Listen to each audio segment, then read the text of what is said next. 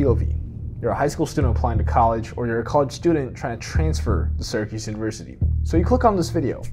Today, we're going to talk about the VPA film program here at Syracuse University. So, quick disclaimer we are not talking about the TV, radio, and film program at Newhouse. We are talking about the film program at the School of Visual and Performing Arts or is it the visual performing it? Yeah, you get the point. So here we are with a few facts and some shared opinions. By the way, I'm currently a senior here at Syracuse University. I have attended from the fall of 2017 to the spring of 2019, took two gap years, and then returned at like the fall of 2021. So we're gonna go straight into it. And number one, there will be a-holes. Um, that's just something you can't really like escape in life. No matter where you go, there's going to be some really weird people, some egotistical, narcissistic, disrespectful, and many other negative things. Don't be too sad about that because there are plenty of great people. There's a lot of people in the program that I love. The point is, you are going to run into some weird people, but there are also a lot of great people. Fact number two as of the making of this video, the program does not really help as much with funding of student projects. The only support you really get is like instructor feedback, access to rental equipment, and information on funding resources. Some students think that this is ridiculous Others would say that a lot of other schools have the same thing. So just take that information with like a grain of salt. That's just how it is.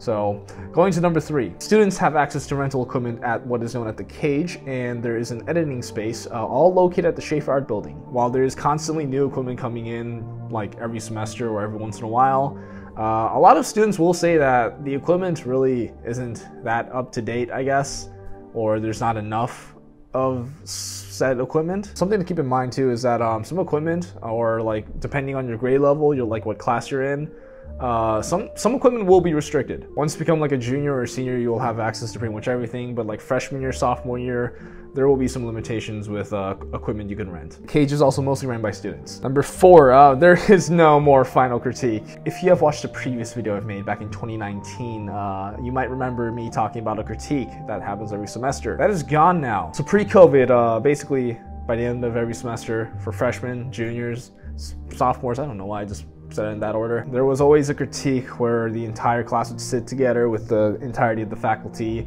and just watch through everyone's short films created that semester. Uh, that is now gone. Uh, in reality, it's a very exhausting process for the faculty. It's literally like 40 plus hours within like one week just watching student films and just critiquing them just critiquing every single one back to back, day to day. As much as I love the whole critique part, um, when I really thought about it, yeah, it's kind of ridiculous on the faculty. So it's I, I understand why they got rid of it. With that said, um, there's still like critiques like within like classrooms, um, individual classes, individual sections like critiques still remain. And professors and instructors are still willing to give feedback to students if they reach out. Now, the senior thesis showcase, um, that still exists. Um, so don't worry about that. That happens before graduation. Studying abroad, uh, there, I believe, I believe, are there are three primary programs. There's Prague that happens in the spring of junior year. There's Italy, which I believe is in the summer and is flexible to all grades. And then there's the LA program, which is in the fall semester of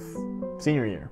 Prague's primary focus is on 35 millimeter film. Italy, I have zero clue. And then LA is on like internships to industry in the West like the film industry in the West, like Hollywood.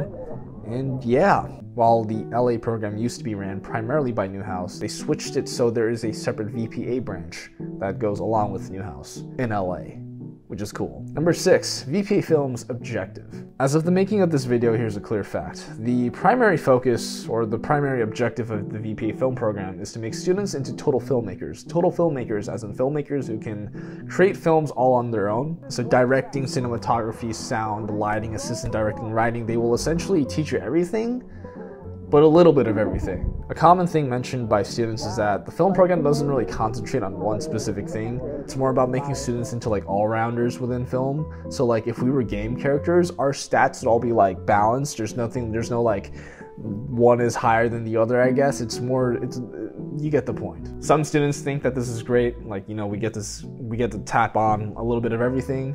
Others might not agree because they want to go more into cinematography or writing or producing and they don't feel like they're getting as much as they would want i guess. Um, i don't really know how to word it but you get what i mean. So please keep that in mind when you are applying to syracuse university or if, like if you are just just yeah you heard it here first. Number seven uh, the senior thesis um, project. So as of the making of this video, all seniors are required to make a senior thesis film on their own or with a partner or a group of three, I think. I think that's what the syllabus said. With that said, you can talk to the faculty, you can find an alternative to making just a single short film and finding something else that you would, I guess, like want to explore. The point is you can talk to the faculty and potentially find a alternative um, option for your thesis project. That's pretty much what I got so far. Um, this is my last semester, so we'll see what happens after this. Um, hopefully, someone provides more information on this program, but that's what I got so far. I'm not here to bash on the program, I'm not here to advertise the program, I'm just here to talk about the program. What I will say uh, is that there are some great people. There are some amazing instructors. The LA program is pretty cool. With that said, drama is always a thing. Um, don't blame that on the program, blame that on life because drama is a life thing, not a program problem. You heard it here first. There is definitely somewhat of a lack of equipment, at least with the camera department. Um, but again, budgets, I understand. It'd be like that sometimes. And this is just me being poor, but like, it would be great if there was like a, a, budget providing kind of thing set out because I mean, you know, film student things, we broke, we out here. My wallet is so so light it can fly away. So thanks for watching. Uh, my name is Andrew, and uh, yeah, if you have any questions, leave them down below. If you want me to make more videos about the film program or just Syracuse University in general, leave some more comments down below. That's pretty much it. Thanks for watching.